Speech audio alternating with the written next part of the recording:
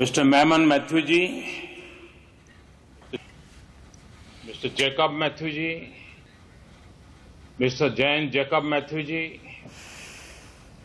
mister Prakash Javadekar ji, doctor Shashi Tharoor ji, dear guest नमस्कार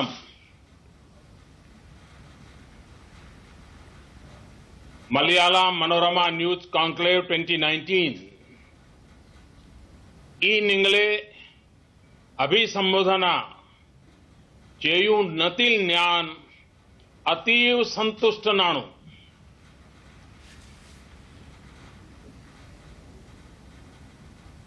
കേരളത്തിന്റെ വിശുദ്ധമായ മണിനെയും അതിന്റെ സവിശേഷവും ഊർജസ്വ ലവുമായ സംസ്കാരത്തെയും ഞാൻ Pranam ikkum. I salute the holy soil of Kerala and its unique culture. It is the land of spiritual and social enlightenment, giving India great sons and daughters like Adi Sankaracharya, महात्मा अयंकाली पूज्य Narayana Guru Chattampi Swamigal Pandit Karuppan saint Kuriakose Elias Chavara saint Alphonsa and other greats. Kerala is also special for me personally. I've had numerous opportunities to visit Kerala.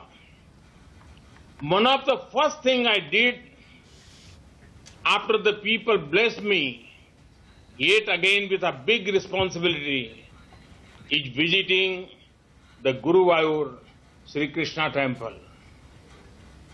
Friends, my addressing the Malayala Manorama new conclave has generated great curiosity. Usually, it is believed that public figures prefer to be on forums whose thought process matches with the person's own worldview. Process matches with the person's own worldview. Because there is a lot of comfort in being among such people.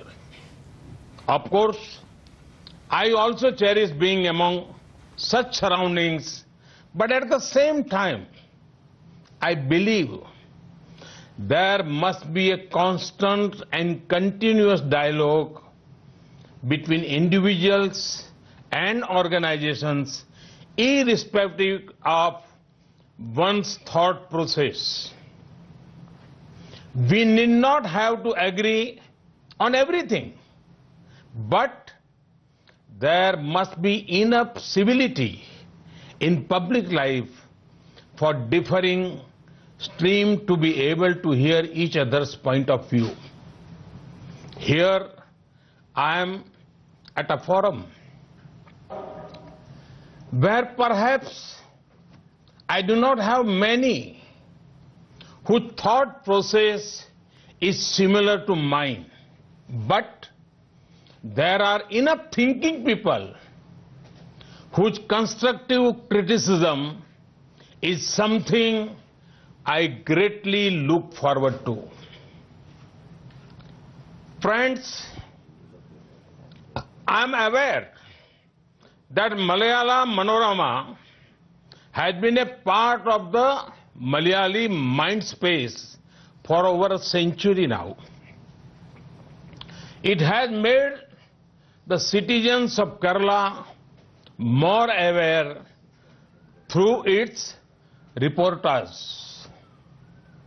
It has also played a part in supporting India's freedom movement. Many youngsters, especially those appearing for competitive examinations, would have read your yearbook. Thus, you are also well known across generations. I salute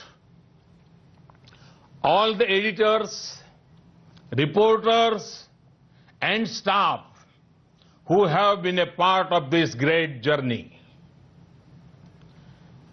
Friends, the organizers of this conclave have picked a very interesting theme New India.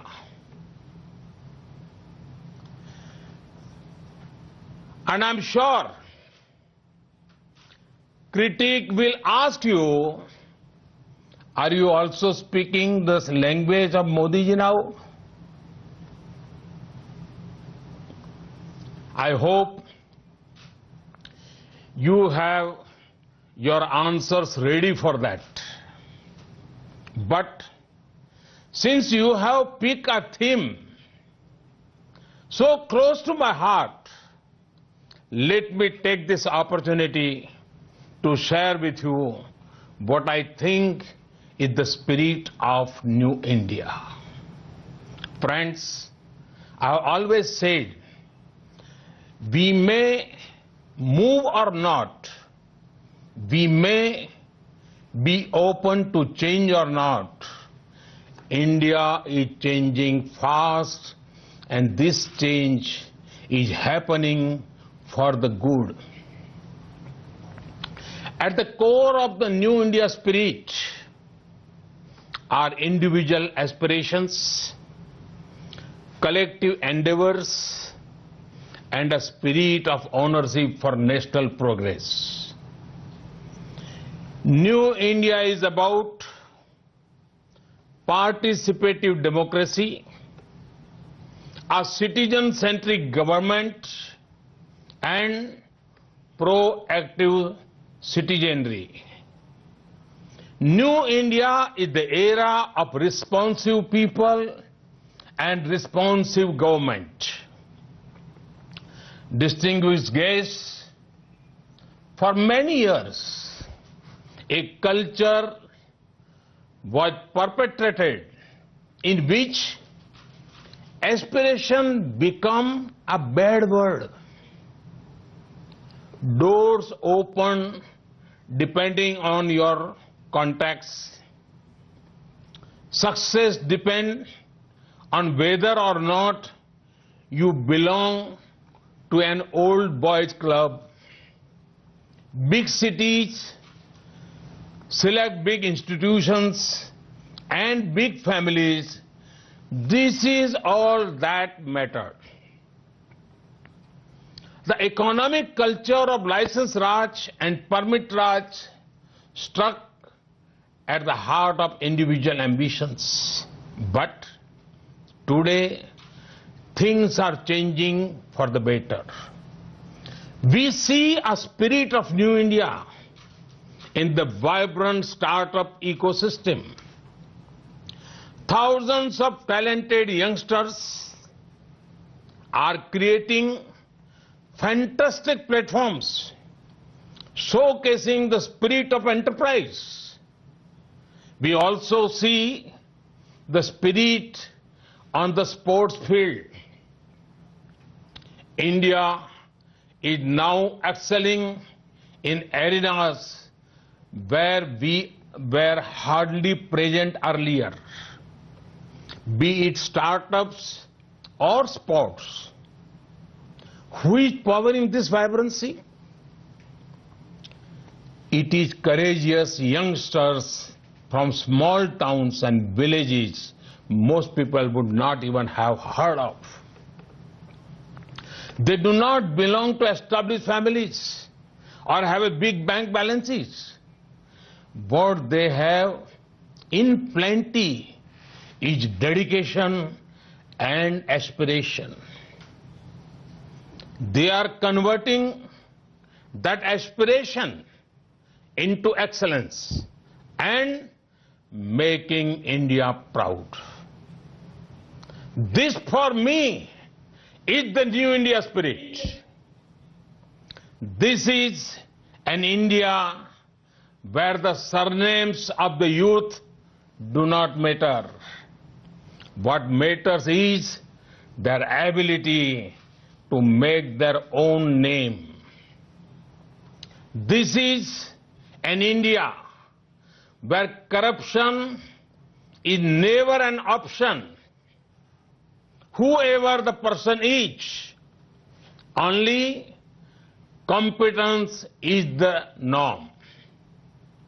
Friends, New India is not about the voice of select few. It is about the voice of each and every of the 130 crore Indians. And for media platforms, it is vital to hear this voice of the people. Today, we are seeing that every citizen wants to do something or the other for the nation. Every citizen either wants to contribute or give up something for the nation.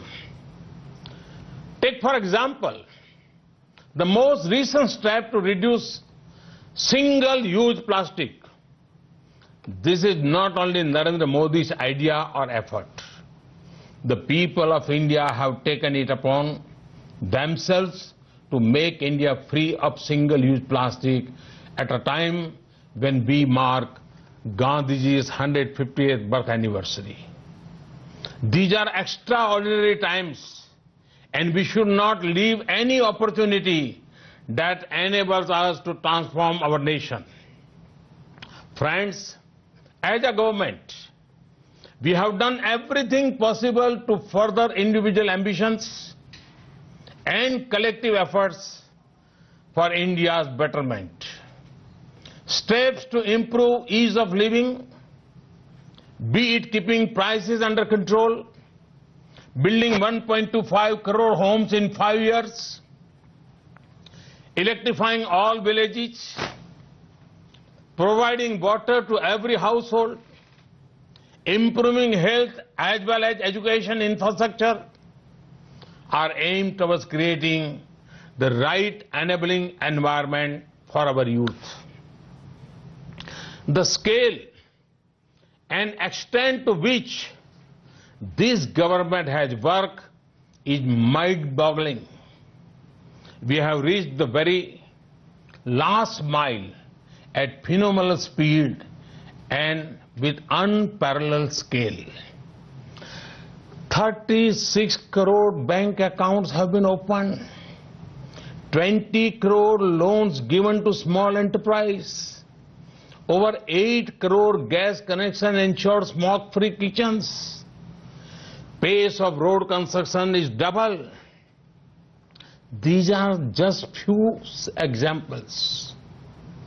However, what makes me happiest and which according to me is the essence of New India is how the people of India have risen above self-interest and look at societal interests. Why else would the poorest of the poor deposit over rupees 1 lakh crore in Jan Dhan accounts despite this being zero balance accounts? Why else would our middle class give up their own gas subsidy?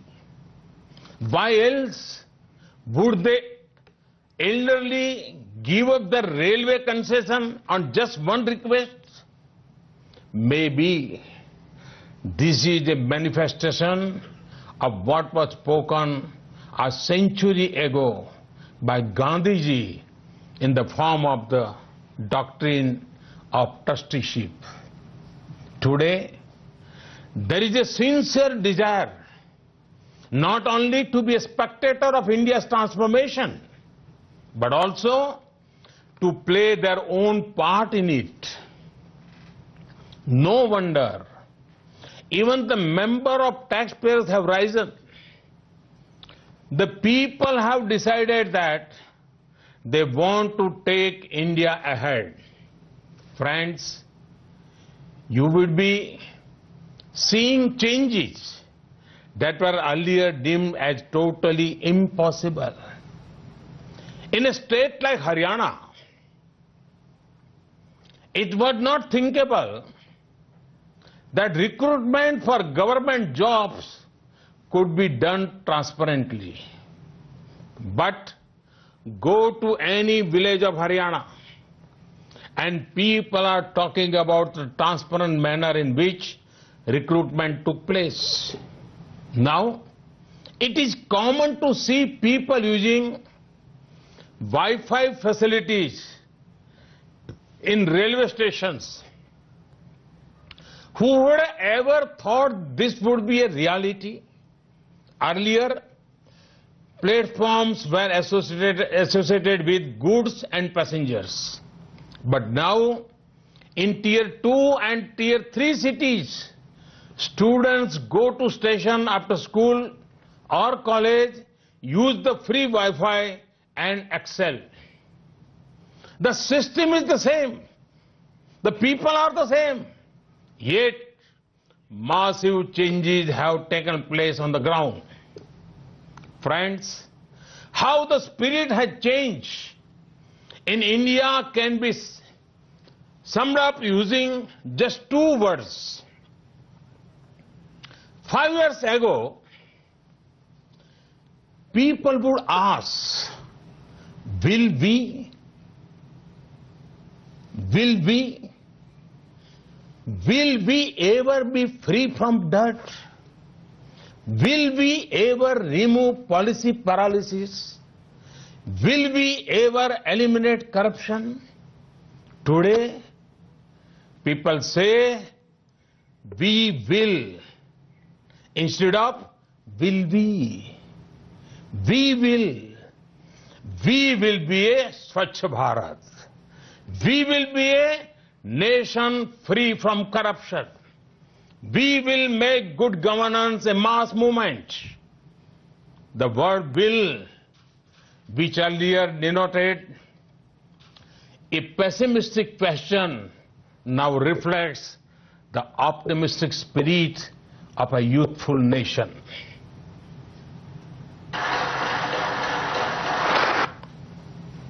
Friends, I want to share with you an example of how our government is working holistically to create a new India. You all know that our government has created over 1.5 crore homes for the poor at a rapid pace. This is a huge improvement over the previous government. A lot of people ask me that schemes and funds did exist previously also. Then what did you do differently? And they have the right to ask the question. First of all, we were conscious of the fact that we were not creating houses, but we were building homes. Thus, we need to move away from the concept of merely constructing four walls. Our approach was deliver more facilities, deliver more value, deliver in less time, and deliver at no extra cost. The homes that our government built did not take a rigid architecture approach. We built homes according to local requirements and wishes of the people. To deliver all basic facilities, we achieve convergence of various government schemes. So, the homes would have electricity, gas connection, toilet, and all such necessities. To deliver more value, we heard the needs of the people and not only increase the area of the home, but also increase the construction amount. We also involve local artisans and labor in this process, including women, to deliver in less time and at no extra cost, we made technology an important component of this process. Photos of construction at various stages would get uploaded online giving a clear picture to the administration. Direct transfer of the money resulted in no leakage and complete satisfaction. Now, if you think back, this could not have been successful with any one of these interventions. Neither technology alone would have solved the problems, nor convergence of schemes also alone would have solved the problems. Solutions at scale are possible when all interventions come together to deliver holistic results. This has been the hallmark of our government. Friends, our vision for New India includes not only caring for those living in the nation, but also outside.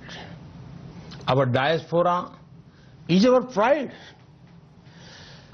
contributing to India's economic growth. Whenever any Indian overseas has faced a problem, we have been at the forefront of solving it. When Indian nurses were captured in different parts of West Asia, no stone was left unturned to bring them back home. Most of those nurses belonged to South India. The same spirit was seen when Father Tom, another son of Kerala, was captured. Many people came back from Yemen. I have been to several West Asian nations and high on my agenda is spending time with the Indians. I just came back from a visit to Bahrain. This is a nation that is a valued friend, home to so many Indians, but but never has an Indian Prime Minister visited there. This honor was left for me. One of the highlights was the compassionate decision of the royal family to pardon 250 Indians serving sentence uh, in their jails. Similar pardons have been granted by Oman and Saudi Arabia. Earlier this year, Saudi Arabia increased India's Hajj quota. Friends, in my recent visit to UAE, the RuPay card was launched there and Bahrain will also have the RuPay card soon. Apart from the push to digital transactions, this will benefit the lakhs of people working in the Gulf who also send remittances back home. Today, I'm proud when I hear that India's relations with the Gulf are better than ever before. Needless to say, it is common citizens who will gain the most thanks to this. Friends, we are seeing a spirit of the new India in the media. Today, India has the most diverse and growing media. The numbers of newspapers, magazines, TV channels, websites are constantly rising. At this point, May also highlight the positive role played by the media in various movements, be it Swachh Bharat, eliminating single-use plastic, water conservation, Fit India, and more. They have made these movements their own and mobilize people to achieve remarkable causes. Friends, for ages, language has always been a very powerful vehicle for the most popular ideas traveling across time and distance. India is perhaps the only country in the world with so many languages. In a way, it is a force multiplier. But, but, language also been exploited by selfish interests to create artificial walls in the country to divide. Today, I have a humble suggestion. Can we not use the power of language to unite India? Can media play the role of a bridge to and bring people speaking different languages closer? This is not as difficult as it seems. We can simply start with publishing one word daily, one word in 10 or 12 different languages spoken across the country. In a year, a person can learn over 300 new words in different languages. Once a person learns another Indian language, he will come to know the common threads and truly appreciate the oneness in Indian culture. This can also give rise to group of people interested in learn different languages. Imagine a group in Haryana learning Malayalam and a group in Karnataka learning Bengali. All big distances were covered only after taking the first step. Can we take the first step? Friends, the great sages who walk on this land, our founding fathers, those who took part in the freedom struggle, had great dreams. In the 21st century, is it, our duty to fulfill them? And I'm sure it is.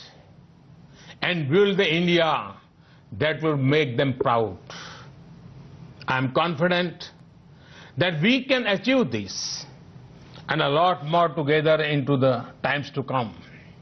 Once again, my best wishes to the Malayala Manorama group and I thank you all for inviting me. Thank you. Thank you very much.